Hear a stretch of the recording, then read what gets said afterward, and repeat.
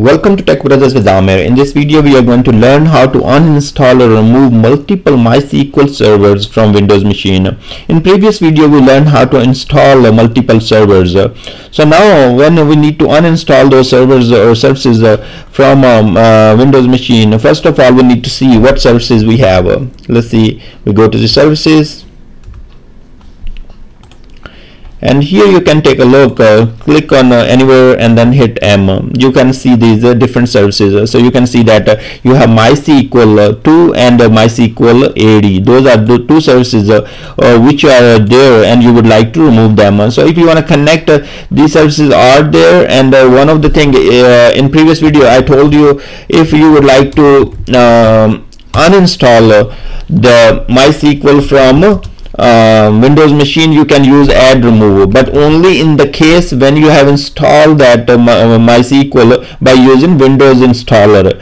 Here these extra uh, MySQL uh, servers uh, we installed by different uh, method. You have seen that we have copied those uh, different files and folders into different and then start the services and etc so these ones we have to remove kind of manual.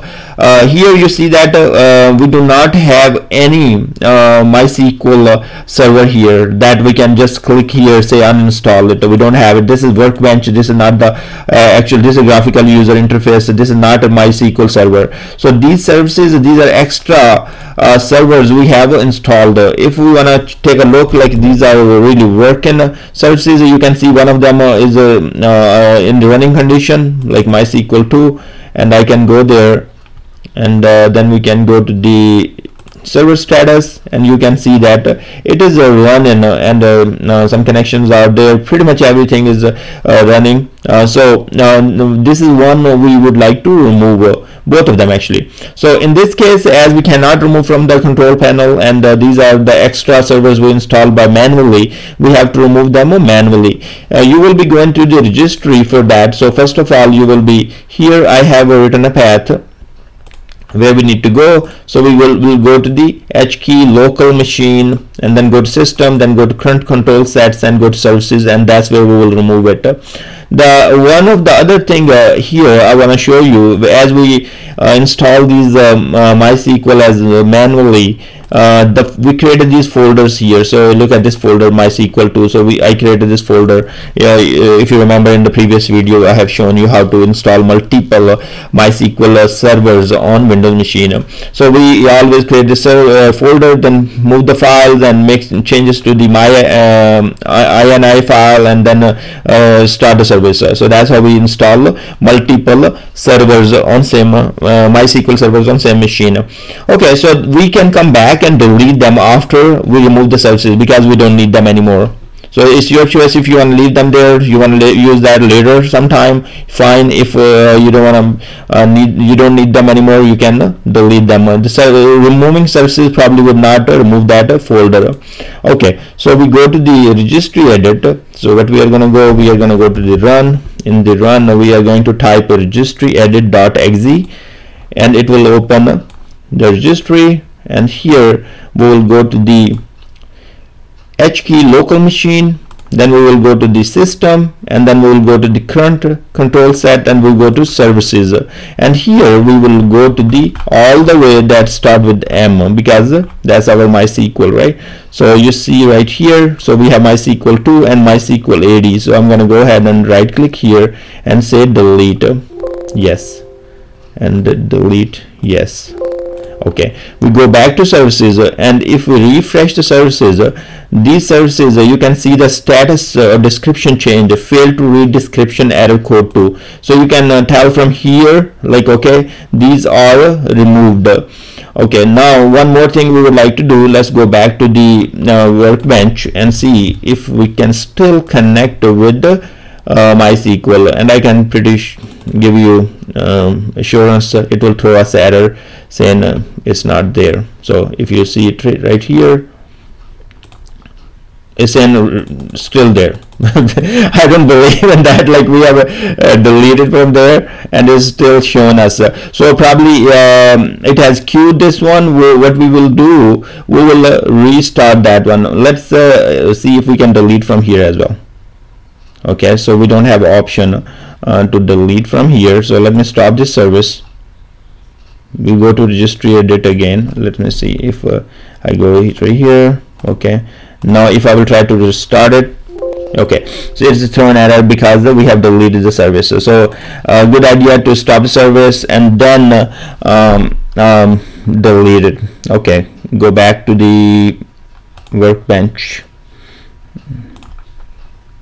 and try to connect again.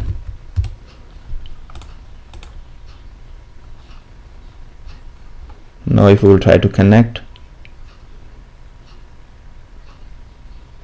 still we can see let's see what status it is. Saying okay now it is showing us the uh, status stopped so it's not there anymore. If you refresh no, nothing is happening you can see that. Okay good. So services are um, removed so we don't have uh, these uh, servers anymore there. If we go to the folders the folder is still there. So as I was saying like okay good idea to remove that folder. So just right click on that one delete and uh, let's see this is another folder I was using for another installation. I deleted both of them. So we are all good here. Now one of the things is still you see these services here in the uh, services list. So let's uh, do one thing. We can uh, uh, restart our system and that will take care of it. Okay how we can uh, restart? Because I have uh, I'm using Microsoft Azure and uh, these are um, I can um, I remoted to that machine so I can hit uh, this is my machine name Tech Brothers IT and I can uh, restart. So yes restart. The restart virtual machine. Okay so it is working. It's going to take maybe a little bit hmm, most of the time 30 seconds. Okay that's restarted we go to connect. Every time uh, you reconnect, uh, restart uh, it create a new IP for you. Sometime you have to reconnect. Download that remote desktop file and reconnect. Okay. Let me refresh. Okay now if we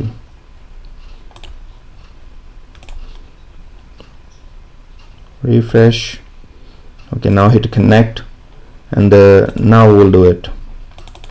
We'll uh, RDP to the that machine and uh, see if the services uh, MySQL services are removed. So when we have multiple servers installed on one Windows machine uh, then um, that's the way to go. So services. Now look for that. M and we don't see any MySQL. Okay so that's how you will clean the whole uh, MySQL uh, multiple servers uh, from your Windows machine. If you notice that here I am using Windows uh, 2012 so there would be uh, no difference uh, if you are using um, sorry I'm using Windows 10 Pro Professional. So you can use Windows 2012 you can use Windows 16 that will be pretty much the same steps what we have taken here. And thanks very much for watching this video and I will see you guys in the next video